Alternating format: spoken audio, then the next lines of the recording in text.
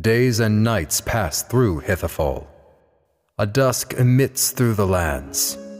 Vegala Infinity's palace has access to the core of all ground, the Cradle Primus.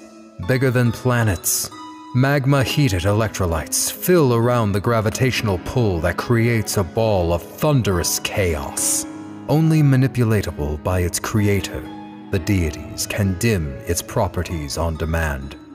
Soon, Vegala turns dark, and thus all who reside in turn slumber. All aside from the forging of a new dynamic duo.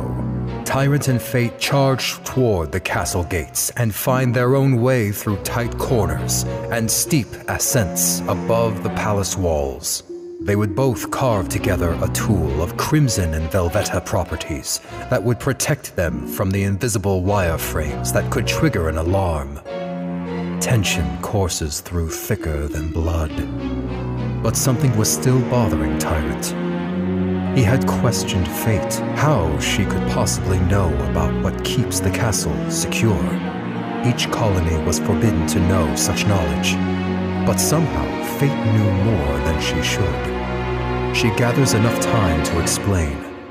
They stand still, and before she can open the truth, suddenly, words become shrieks as a titanic crash brings the main doors down. There behold their gravest nightmare Pithistras, Yondoth Atticus, and Wanderamite, the three almighty deities. They quickly grab the two unprepared vigilantes and throw them into airtight cages. They are levitated towards the brute and might of the Vegalian emperors. Fate would accidentally reveal a despicable knowledge of internal betrayal. She would question why she was locked up, which should have been more than obvious. That was until the deities revealed a crucial twist. She was working with them all along to take down Tyrant from the inside.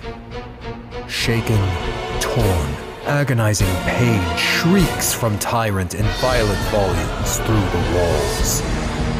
He had been betrayed. But to the surprise of fate, she would too be punished for her cooperation. She too was deceived all while being used as a mere pawn against Tyrant. His fears were all but validated. Fate was not originally an adversary. She was far too dangerous.